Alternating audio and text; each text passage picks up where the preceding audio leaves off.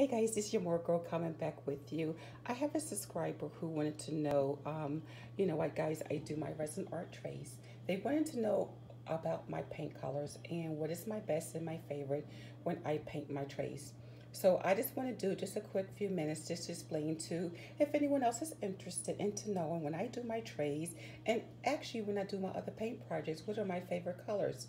Now for my trays, I usually use stuff like Testors and this is what Testors look like. And also I just got this one and you see the color of that? See that pretty, pretty brilliant. It's like a bluish red color. And this is why I use some of these colors here. This is why this one is probably my favorite. The only problem with Testors, if you haven't used them in a while, they are hard to open and I just kind of soaked the lid upside down in some acetone. I discovered this because it was very, very rich and the pigments is very fluidy. And the thing is, it's just have a brilliant color. Look at this shine here. And it's very smooth. This here is also a metallic paint. So it gives it that extra shimmer. And when you have paint like this, you get this dark blue effect here. And you see how deep and dark and royal that is? That is a Testors paint. Okay, the second favorite that I have here is these metallics here. These are absolutely become my favorite in acrylic paints. I discovered this when I did my Halloween pumpkins. So these are actually true to its you know, sample right here, this high yellow gold. So when I did the pumpkins, you see it has that beautiful, brilliant shine. And these paints was from Michaels, and they only cost $1.99. This one here is rose gold, and you know rose gold was used in some of my projects in my bathroom. And with the rose gold, I'm using to demonstrate these Christmas balls. These are the glass balls that you can design and paint yourself. So you see how with the rose gold, it has that nice glitter right here and a shimmer to it. And it's very um, opaque, so it doesn't see through at all. So it's very thick paint and it just have like a beautiful like shimmer gold to it. Okay, so that is my two favorite acrylic paints.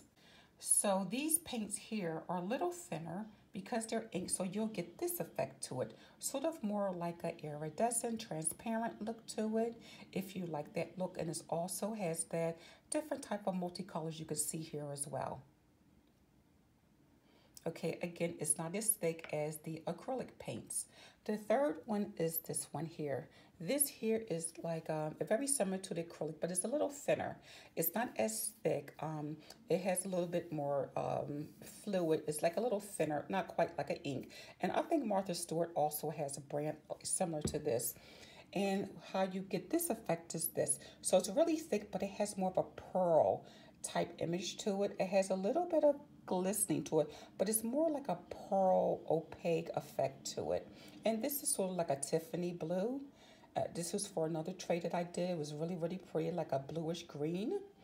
Okay, so you can see how you get that iridescence. It looks like it's purple and it's almost like a purple, yellow, and green and a blue in here. So it has all these combinations in this paint, and you can really see it when you do your Christmas ball. So this is a good idea to do your holiday, holiday decor as well, especially when you cannot get that particular color that you want.